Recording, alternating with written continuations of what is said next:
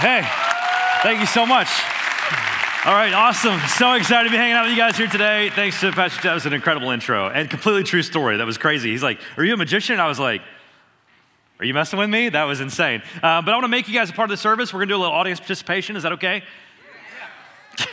That was like 20% of you guys. The rest of you, as soon as I say audience participation, and I saw it happen just now, a whole bunch of people break eye contact with me. They're like, please don't pick me, uh, which is really funny. I'm always entertained by that. You guys know, even if you don't look at me, I can still see you. You know that, right? That's how that works. I want to try something everyone here can participate in. Everybody take their hands, put them out in front of you like this. We'll try to get this, get you guys warmed up. All right, hands out in front. Everybody, hands out in front. Hands out in front. Everybody, come on. Come on, do it. I'm not going to take your wallets. All right, I promise it's safe. All right, step number one goes like this take your hands, put your hands together, stretch your fingers out really well. Stretch them out. Holy cow, did you guys hear that? I've been saying this at the other services. Everywhere I go, it's always like one person I hear across the room, like thousands of fingers are cracking. Basically, you sound really stressed out here in Chula Vista, is what it sounds like. So, as soon as you're stretched out really well, put your hands out in front of you again. This is gonna be weird, but we're going somewhere, I promise. Thumbs up like this. Take your thumbs that are facing up, turn them down on the inside like this. Backs of your hands together. Looks good. Take one arm, cross it over the other. It's where things get a little more complicated. See if you can take your hands and lock your fingers back together. Squeeze them together really tight. Do not let go. Keep your thumbs down. Thumbs down. Hold that right there. Just going to scan the crowd real quick. Want to make sure everyone's actually participating. Got a dude back there in the back, plaid shirt, not participating. He's just, you're not even going to do it. Okay. He's like, I'm too cool for this. Don't mess with me. All right. Uh, everybody else looks good. Looks good. Bonus points if you can wiggle only your pinkies at the same time. It's difficult but hard. All right, final step goes like this. Here we go. Watch, follow along. All right, thumbs up. Give it a little twist. No? Some of you? Most of you know. All right, maybe not. Everybody do this. Everybody do this. You guys are catching on. You're catching on. All right, some of you right now, know what you're thinking. You're like, that was insane. What just happened? How did you do that? Some of you are thinking, like, Really? They flew a guy all the way from Nashville to show us something lame like that? Uh, and it's a really simple trick. Maybe some of you figured it out, and that's totally okay. It's not really why I'm here. I'm not here to like fool one or like get you with a magic trick. That's not what magic's about, even though that's what a lot of people think. Uh, but it is interesting how easy it is to be deceived. Like when I was a kid, someone in my school knew I was fascinated by magic tricks and came up and explained that trick to me. Did not perform it, just explained it. Hey, Harris, do you know if you walk up to someone and do this and this with their hands, the person watching, they'll have no idea how to get their thumbs facing up. And I was like, no, no one is ever going to fall for something that simple. I went and tried it for someone like you guys. They were like, How did you do that? And I was like, It is really easy for people to be tricked and deceived. And what I've now discovered after spending literally the last 20 years of my life traveling around the world doing magic shows, it is easy for us to be deceived. Not because you guys aren't smart, you're intelligent human beings. It's just that most people have never studied subjects like trickery or deception or things like that, which makes it possible for magicians and illusionists to deceive you. Um, and I know it's going to be way more fun if I don't just talk about that, but if I actually show you guys what I'm talking about. So let me explain. A little over 10 years ago, I was on this tour in Southeast Asia. I was performing in two countries on this particular tour India and Sri Lanka, which is a little island off the southern coast of India. In Sri Lanka, we performed an illusion with an old antique table, very similar to this one up here on stage. After the show, this guy comes up to us and he's super fascinated by this table. He kept asking us questions like, Where did you get that table? Come to find out, according to him, he had seen this table before. He goes on to explain to us that down the street from where he lives, there's a man in his village there in Sri Lanka who apparently has a table and looks exactly like mine. He thought, clearly you borrowed it from this man because it's the exact same table. He goes on to explain that the guy who had the table claimed it could move around. He said the table could actually slide across the floor without anyone touching it. And apparently that was possible, he said, because of spirits or something like that, that they were manifesting their presence by making the table move. Honestly, I was skeptical. I wasn't sure what to believe. So I decided, let's just go visit this man with this mysterious table and do a little bit of research. And what I discovered that day shocked me and taught me a lesson that I will never forget. Before I tell you what that was, I want to perform for you same illusion I did for people in Sri Lanka. To do that, I need some more help from the audience. So I actually want to get one of you up here on stage this time to help out. If you'd like to help out, please raise your hand. Do we have any volunteers? There's a young lady right down there in the front, a kid in the big service. That's awesome. Come on up. Everybody clap for her. Give her a big round of applause for volunteering. Make your way. There's some steps all the way over here. Appreciate you volunteering. Got a big, beautiful smile on your face. Hi, I'm Harris. What's your name? Emily. Emily. Very nice to meet you, Emily. How old are you? Um, 11. 11. Are you serious? Emily, that is exactly how old I was when I was your age. You don't believe me? Okay, all right. Step over here on this side of the stage. I'm going to put the table right up here in between you and I. Emily, turn around and face me. Take a few steps back that way, just a little bit, a little bit more. All right, now come back towards me just a little bit. Right over that trap door, Emily. I'm just messing with you. There's nothing down there. Any trap doors down there on the stage? No? Is there any weird things above your head in the air? Any strings or anything like that you can see? Are there any weird gadgets on my hands or anything other than my wedding? There's a tablecloth draped across the top of the table. In a moment, I'm going to need you to help me hang onto the corners of the tablecloth. You're up on stage right now to do two things. One, hold the tablecloth, but two, to ensure to them that what they are experiencing out there is exactly what they would be experiencing if they were way up here, inches away from this table where you are, okay? What I need you to do is hold on to the corners of the tablecloth, one in each hand. I'm gonna do the same thing on my side. No matter what happens, Emily, do not hold this table down. Like, don't put any downward pressure on the table with your hands. Don't hold it down with the tablecloth. Just hold the corners lightly like this, kind of with plenty of slack. If this works, if the table decides to move, I just need you to move with the table, okay? Okay.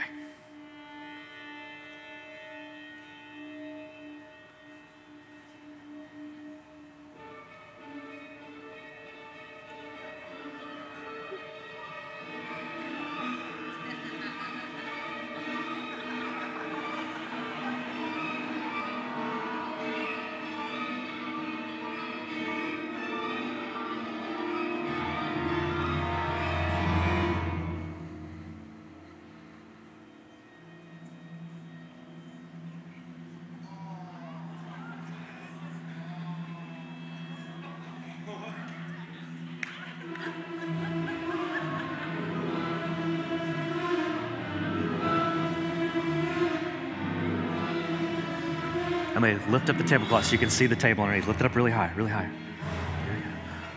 Whoa. All right, let go, let go, let go. Just here, there.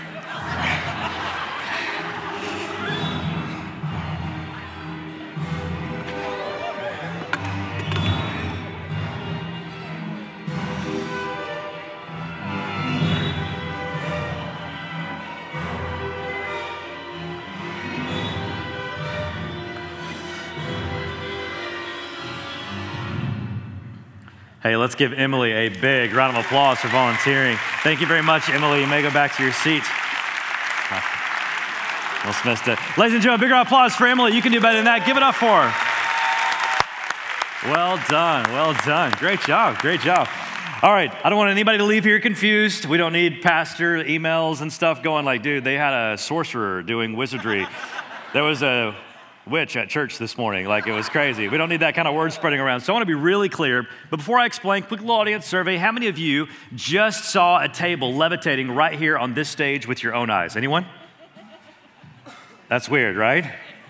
Like, because I'll be honest with you, like deep down, you guys know that I'm an illusionist, which means that table was not actually levitating, right? Like, I promise you, that's not a power I have. You're not seeing like genuine supernatural acts here on stage this morning. This isn't sorcery or witchcraft. This is really no different than the tricks you would see in a movie theater when you watch a building blow up using special effects. I've just gone to the effort of learning how to use psychology and sensory deception and misdirection and sleight of hand to create the illusion of something actually happening. And when you understand the principles of how deception works, you can create a believable illusion so that people who don't understand those principles of deception can sort of misperceive reality, that your senses would be led to misperceive what's actually happening, and your senses would convince your brain, I think I'm seeing a table levitate right in front of my face, right?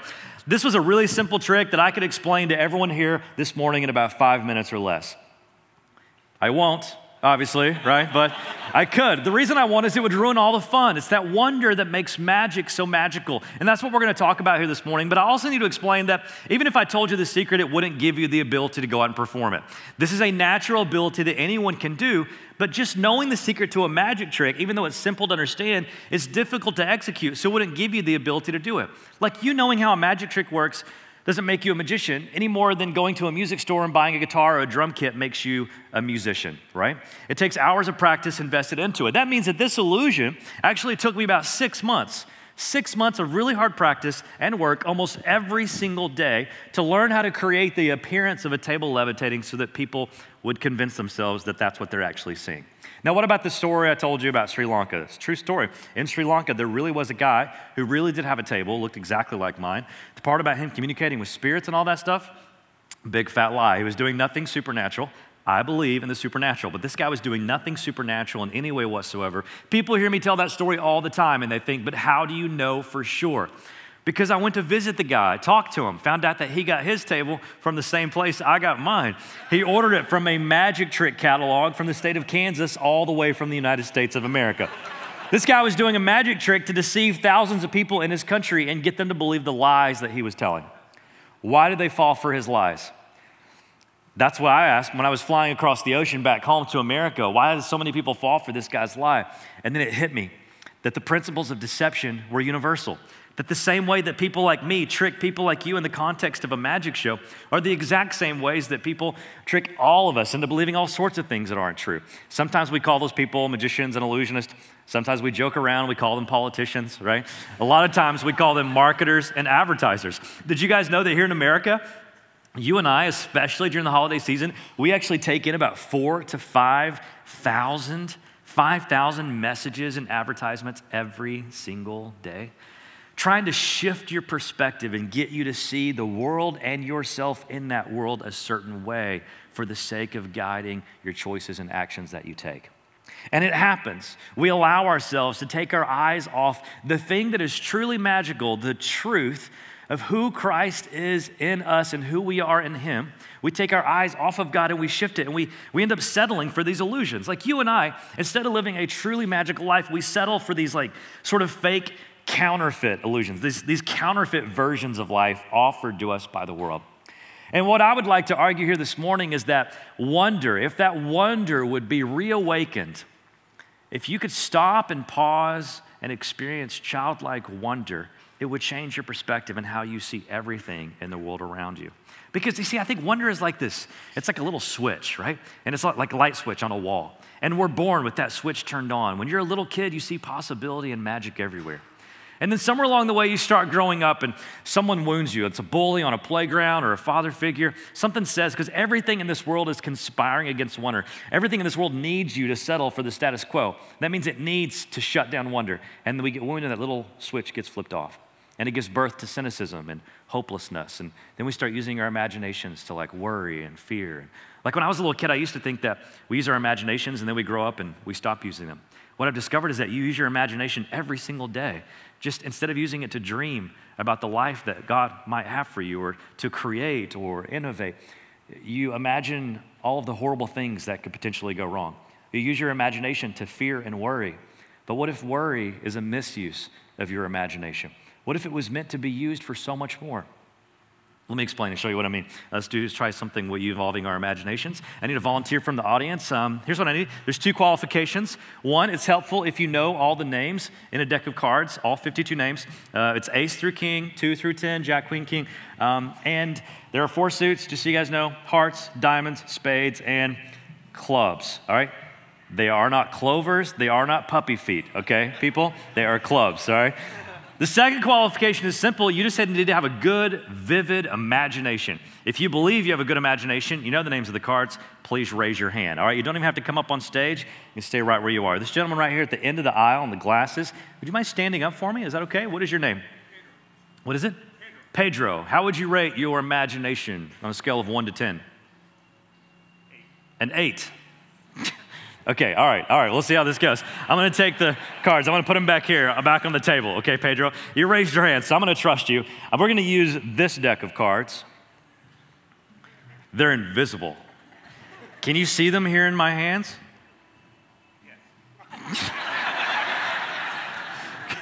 this is one of our great, Pedro. All right, I'm gonna take the cards. I'm gonna take this whole deck of cards right here. I'm just gonna take it and toss it out there to you.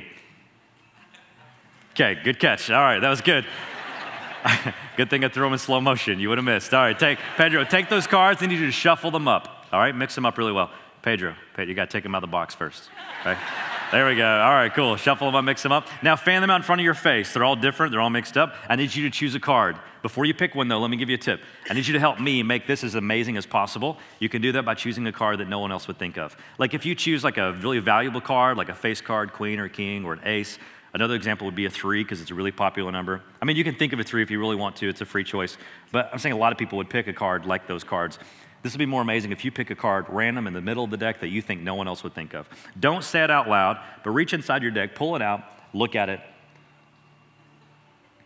memorize the name of it, show it to your friends so they know which one it is. Now we know who the crazies are. Take the card, turn it face down, put it back inside the deck. Close the cards back up, shuffle it back in. You're going to take the cards, throw them all the way back up here to me on the stage after you put them back in the box first. Yeah, take your time. Just throw them back up here to me. Listen.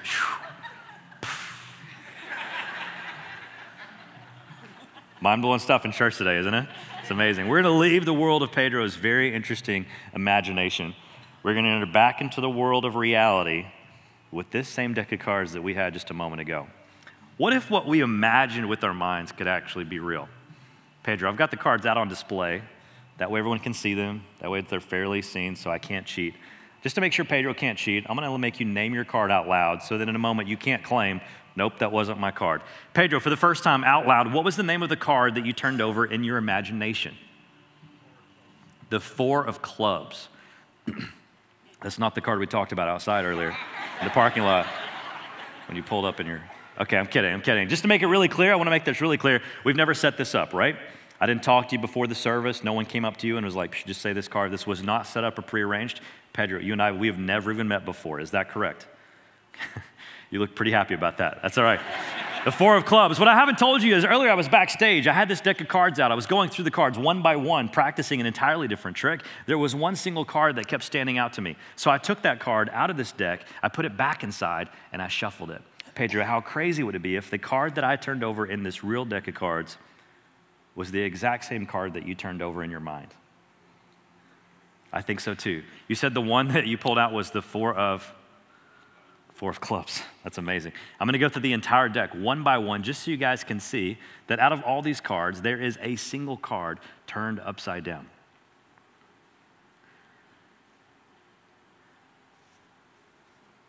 Four of clubs. That's incredible the four of clubs. Everybody give Pedro a big round of applause. Thanks very much, Pedro. You may be seated. Well done, well done. Okay, now, any questions? hey, what are you guys thinking right now? Go ahead and say it out loud. What are you thinking? Yeah, okay. Like most people are like, how, right? Like, how did you do that? Look, listen, earlier I was backstage and uh, I was like peeking through, and as soon as James was like, we have an illusionist, he's basically a magician, as I could see around the corner, I saw especially some of the gentlemen, they were like, magician, huh? They like crossed their arms and adjusted themselves in their seat. And they, as I walked out, you started leaning in and you're like, all right, Mr. Magician, let's see if you can fool me, right?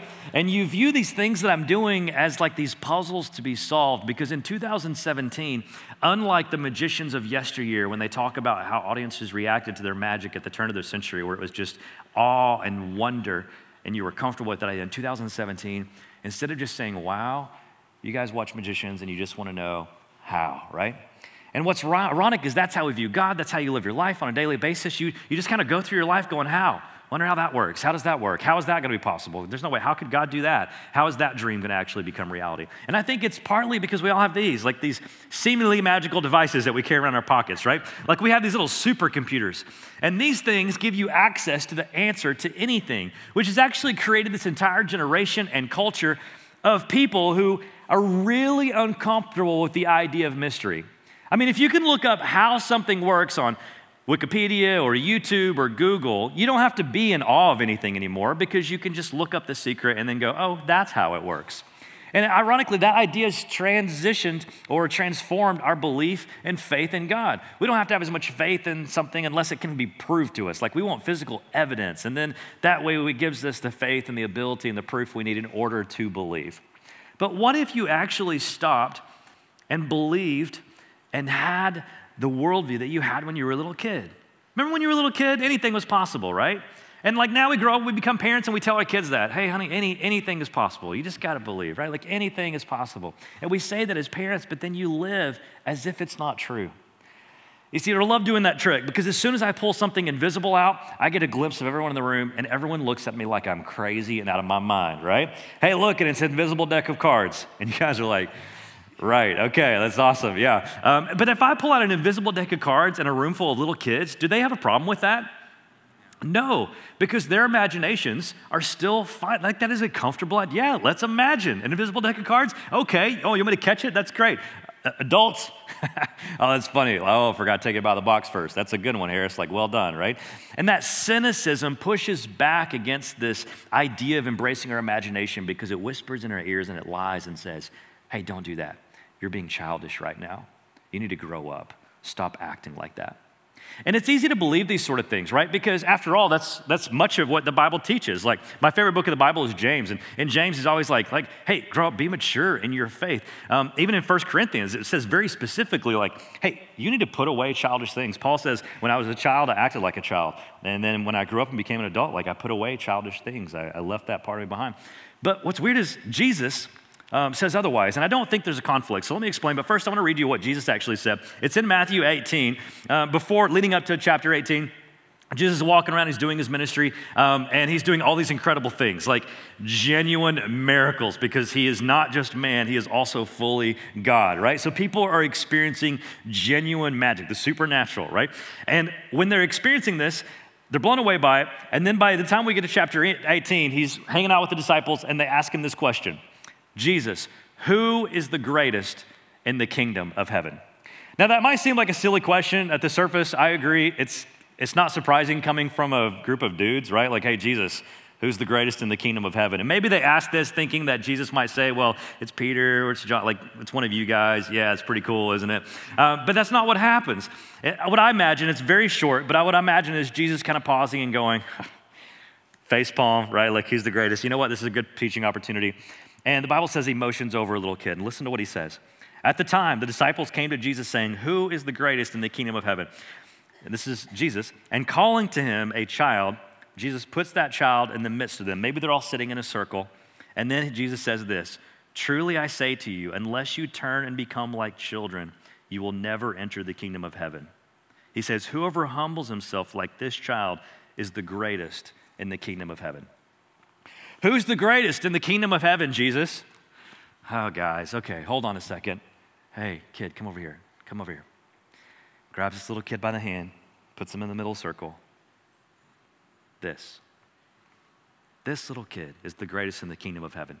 And then he explains it all and almost makes it offensive to a group of adults. He says, Unless you even have the mind of this child, you're never even going to enter the kingdom of God that didn't make sense to me until I eventually became a father on my own because I started becoming cynical the more I became an adult.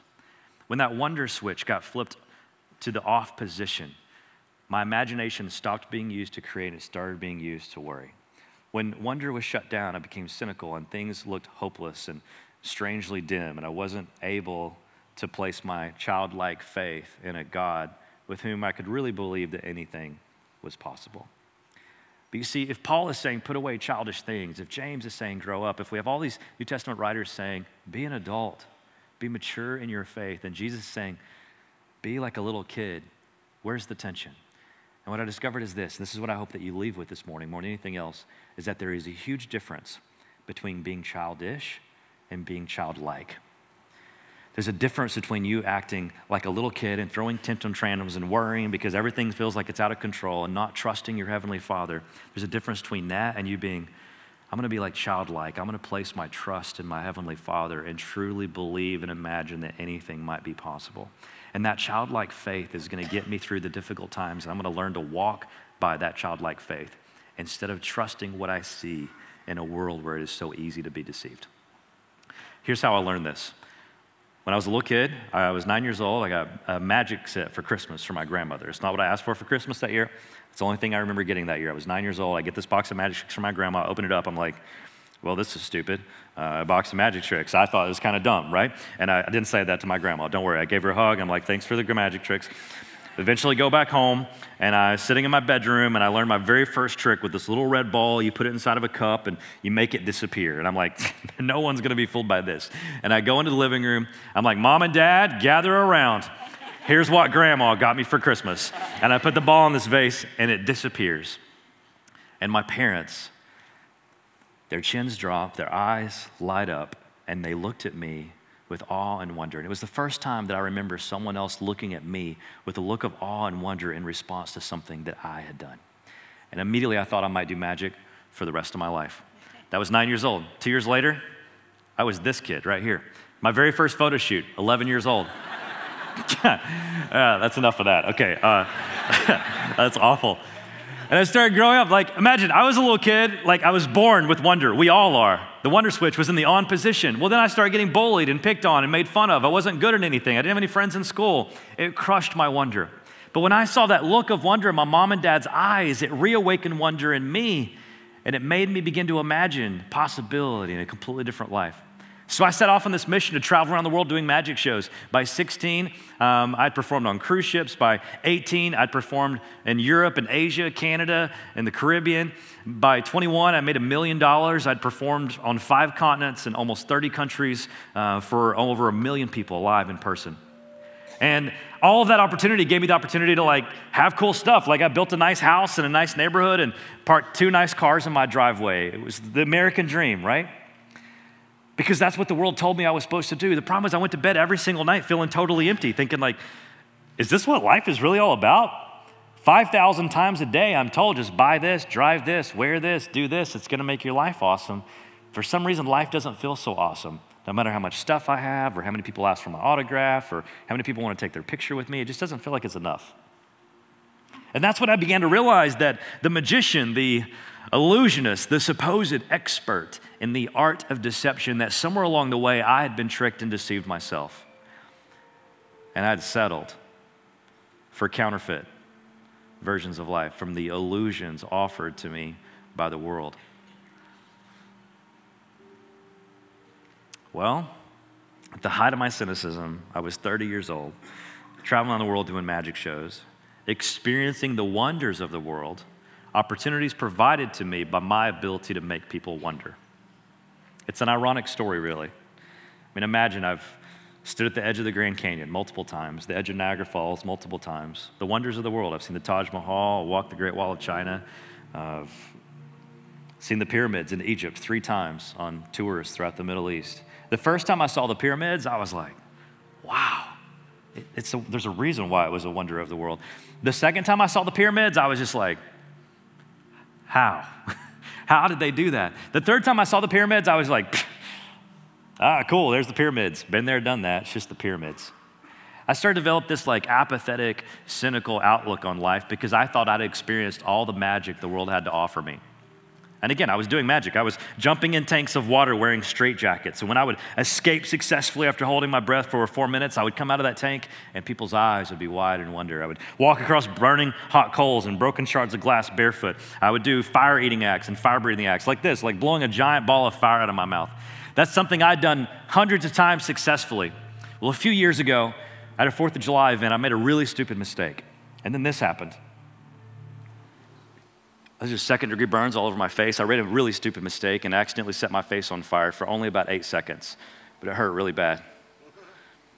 And I had no shows for a few weeks, obviously, while my face healed up. And I remember laying on my couch, and that's when I started asking myself, like, why do you do this stuff?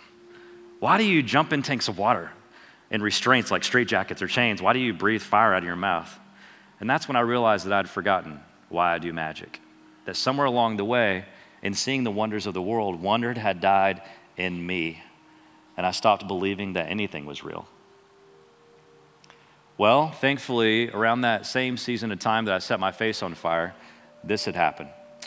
It's a picture of my wife, Kate, right after she gave birth to my son, Jude. When I burned my face, Jude was about six months old. He looked about like this at the time. I know, right? Here's a picture of what Jude looked like, really excited. Just for fun, here's Jude taking a selfie. we just celebrated Jude's four year old birthday a couple months ago. This is close to what he looks like today. When Jude was a year and a half, this little girl came along.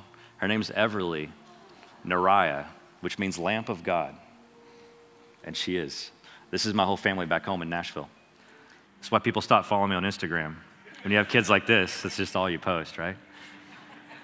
But I am so in love with them and they changed my life because before, before my cynicism robbed my kids of the wonder and the real magic that is in and through all of God's creation, including themselves, God used me becoming a dad and my little kids to reawaken wonder in my life and remind me why I do magic.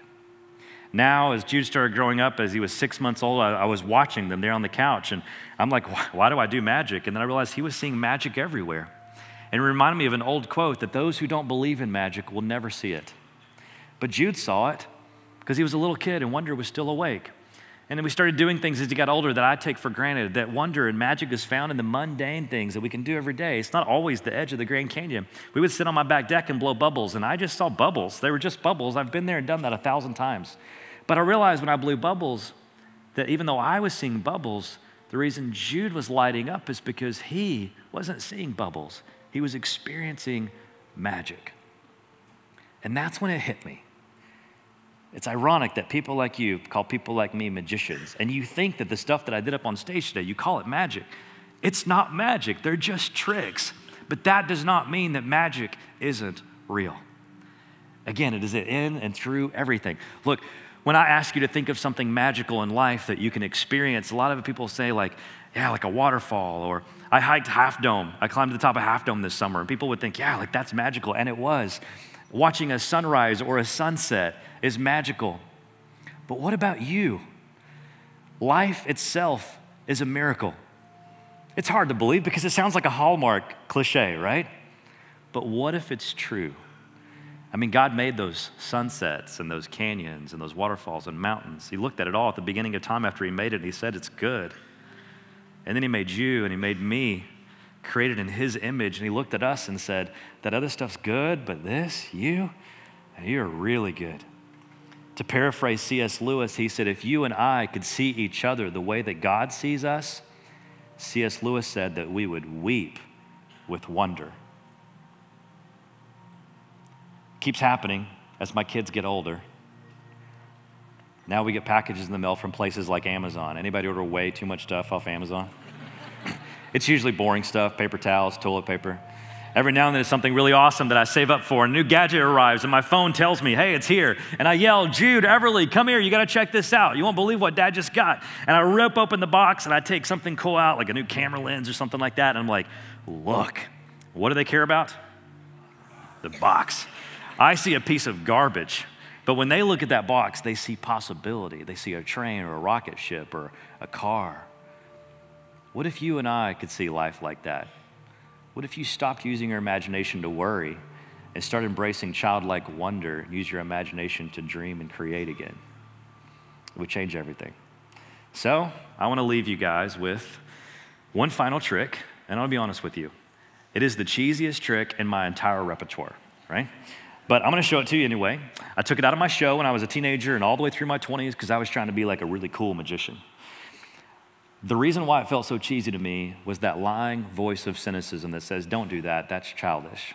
But as we discovered today, there's a difference between that and being childlike. So I'm going to show you the first magic I ever experienced in hopes that it reminds you to believe in real magic and awakens wonder in your mind and your heart. The very first magic I ever experienced when I was a little kid was the magic of seeing snow. How many of you guys have seen snow here in San Diego? How many of you guys saw snow somewhere else really cold? Are you used to? Okay. How many of you used to live somewhere else really cold and you got annoyed by snow because it was like really cold and you got to shovel it and scrape it? Yeah, okay, cool. But like it's just snow, right? When I was a little kid, get this, I did not get to see snow for the first five years of my life. Growing up in Tennessee, those first five years, it snowed twice in Tennessee during the first five years, and we were south in Florida on vacation. I totally missed it. The only time I saw snow during those first five years was on TV and in the movies. And in the movies, it always snows on Christmas. And so, as a naive five year old, that's when I was taught it was supposed to snow by the movies, was on Christmas. And so, imagine I'm five years old, I'm kneeled down next to my bed on my hands and knees, or just my knees, and I'm praying. And I'm like, God, please let it snow. Please, please, please, let us have a, uh, what's it called? Oh, yeah, oh, yeah, a white Christmas. Let us have a white Christmas. I wake up the next morning, I realize it's Christmas morning. I jump out of bed. I sprint down the hallway of our house. I bust through the front door to look outside. And guess what? Yeah, there was no snow. I didn't understand. I had childlike faith. I go back inside and I'm like, hey, mama, it's Christmas, right? She's like, yeah, baby, it's Christmas. Why? I said, how come there's no snow yet? What, what's a white Christmas? And she told me later in life, she thought it was kind of cute, like, oh, he got fooled by the Christmas movies. He thinks it's supposed to snow on Christmas. She explains it's been really hot in Tennessee. I'm sorry you haven't seen snow, but maybe we should go visit Grandma and Grandpa's house in St. Louis next year It was a magical house in my childhood. Same grandma who bought me the magic tricks. It snows a lot of Christmases up there. I was so excited to get to St. Louis. We got there on like December 21st, 22nd. I don't remember exactly which day it was. I just know the weather report said that Christmas, uh, that, that the snow was coming on Christmas Eve. And so Christmas Eve came, and I was down on my knees next to my bed praying again God, please let it snow. Please let's have a white Christmas. I wake up. I realize it's Christmas morning. I jump out of bed, remembering the weather report, sprinting down the hallway again I bust through the front door to look outside, and there was still no snow. I went back inside. I was a little kid. I, I didn't understand, but I didn't give up hope. I still imagined that maybe it might be possible. And that night, I just started praying again. I didn't know what I was supposed, I was supposed to do. And so instead of kneeling down next to my bed, I remember going over next to this windowsill in the bedroom that I was sleeping in my grandma's house. And I got down on my knees again next to the window and put my little elbows up on the windowsill. And I remember clasping my hands and looking up at the stars in the sky. The only reason I remember this, there was this creepy bush that looked just like a person that always scared the crap out of me right outside the window. And I remember always looking past that bush up at the stars, going, okay, please, please let it snow. Please let us have a white Christmas. I must have fallen asleep praying next to the window that night. The next morning, there was a knock on my door. It was my mom. And she said, Harris, wake up. I woke up. She came, leaned over, and she said, Look outside. I looked outside. I couldn't believe it. Finally, finally, it was snowing. I jumped up. I ran down the hallway again. And just before busting through the front door, I remember pausing and it's like a home video in my head. I remember seeing my hand reach on the doorknob, take a really deep breath, and turn the doorknob, and I inched it open. I looked out, and it was everywhere. I ran out in the front yard. I picked as much of that snow as I could up in my hands and my arms. I threw it as high in the air as I could. And I remember putting my arms out and spinning around. I laughed and I cried, and I realized I wasn't dressed yet. I did have some pajamas on, but I had bare feet. I was so excited, adrenaline was pumping. A few seconds later, I ran back inside really fast, and I learned what you smart people already know snow, it's really cold, right? It doesn't mean much to us now. After all, we're all grown ups. It's just snow. But I'm telling you guys, in the mind of a six year old boy, man, that was real magic. Of course, I had to go back to Tennessee, where, believe it or not, it wouldn't snow for a few more years. But I never stopped reliving that experience of seeing snow. I would go into the kitchen while my mom was cooking dinner, and I would pick up these little napkins off the shelf, and I would fold them up and rip them into tiny little pieces of paper and throw them up in the air. I got in trouble every now and then because there was a paper mess all over my house. But it was my way of reliving the miracle of snow. And in that tiny little house in the foothills of Tennessee, this is what I would do for my mom.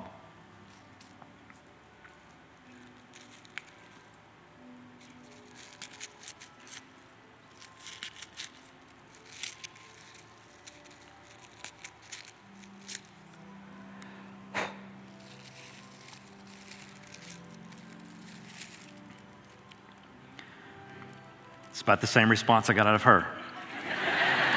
she, was, she wasn't that impressed. Um, it's just a paper snowflake made out of a napkin, so I can imagine you're not impressed either. But in that moment, my mom pulled up a chair at the kitchen table next to me, and she taught me what I, I really think must be the first lesson I remember learning from my childhood that I still remember today. And that's what I want to leave you guys with this morning. I learned that day from my mom what made snow filled with so much real magic. I learned that part of it has to do with the snowflakes themselves, that snowflakes are perfectly unique. Uh, you guys know this. We've heard it all the time. It sounds cliche sometimes because we hear it so often. But snowflakes are perfectly unique. In school, we studied them under a microscope in a cold room. They were beautiful. We realized that no two snowflakes will ever fall out of the sky that will be exactly the same. But what my mom explained to me was that the beauty, the, the magic of snow is not when you walk outside and see one little perfect, unique, beautiful snowflake falling down in the distance by itself. It's when you walk out and you see all these unique snowflakes combining their beauty, working together to create this orchestra of magic all around us. And it is the experience of that combined magic that awakens our hearts and even the most cynical minds to wonder. When it covers the trees and makes that peaceful blanket on the ground, we just look at it. We don't wonder how it's possible. We just go, wow, that is beautiful. And the same thing that's true about snow makes our lives so much, ma- so it's filled with so much magic. Like, of course, we're all unique like snowflakes. The reason why that sounds cliche to us, we've heard it a million times, is because of what our culture celebrates. We celebrate our outward appearance and all the things that make our life super special. Of course, you're unique and look different. There's no two people in this room that look exactly the same, but it's not just your eye color and your skin color and your hair color that makes your life magical. It's the uniqueness, the unique purpose that God perfectly molded and created you to live out. And then He gave you the talents, He gifted you with the abilities to live out that purpose.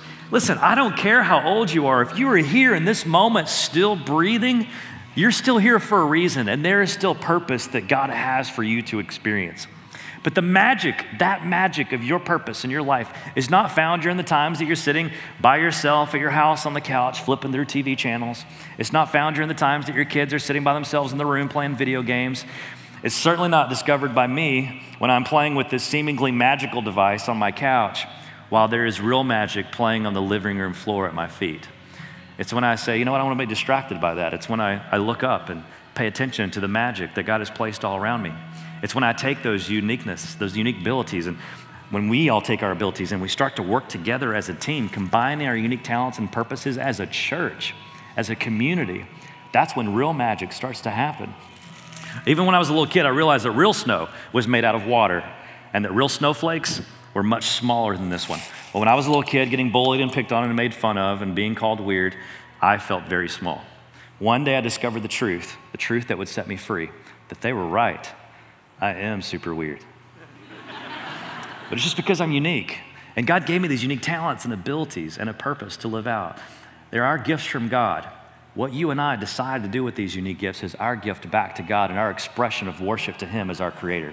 And if I took these unique talents and used them to honor and glorify Him instead of myself, well, if I could do that, if you could do that, if we could all leave here and do that together, magic, real magic might start to happen. Wonder would be reawakened across our land, and people would develop a childlike faith in a God with whom anything, anything is possible.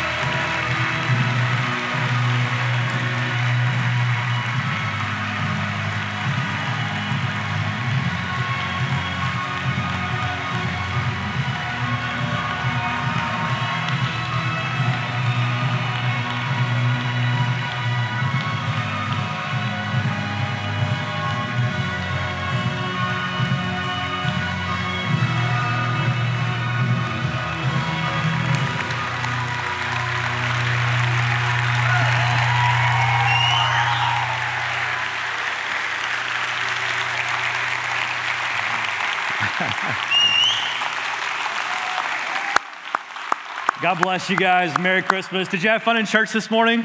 Yes? Good. This really is one of the most magical times of the year.